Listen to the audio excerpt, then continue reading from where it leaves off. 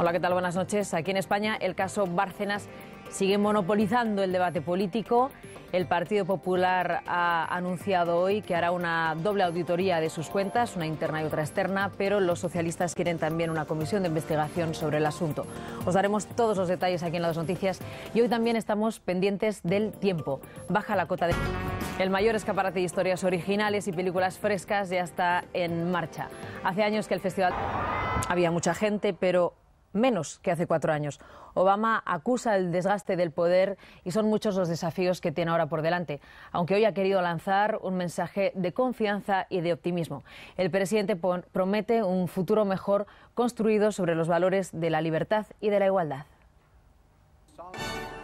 Aquí el día ha vuelto a girar en torno al caso Bárcenas. En su primer Consejo Ejecutivo del año, el PP ha decidido levantar alfombras. La encargada de hacerlo será Carmen Navarro, la actual tesorera del partido. El PSOE, entre otras cosas, pide una comisión de investigación en el Congreso. La Fiscalía Anticorrupción mantiene la acusación por blanqueo de capitales contra Julián Muñoz, Isabel Pantoja y Maite Zaldívar. Hoy el Eurogrupo ha elegido como presidente al ministro de Finanzas holandés. Le han respaldado todos menos España para protestar por el asiento que perdimos el año pasado en el directorio del Banco Central Europeo.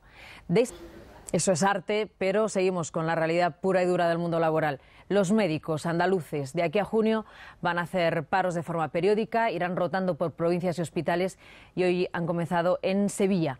El dato sobre el terreno en Mali, las tropas francesas y malienses continúan la reconquista del país. Hoy han entrado en aquí en España 40 provincias están en alerta porque mañana un temporal con fuertes vientos, lluvias o nieve nos va a afectar a casi todos. Llevan cuatro días de festival y ya están dando que hablar. El festival de Sundance hace tiempo que no es independiente, pero sigue fiel a la búsqueda de la originalidad y de nuevas voces. Y este año se adentra en terreno virgen en el cine.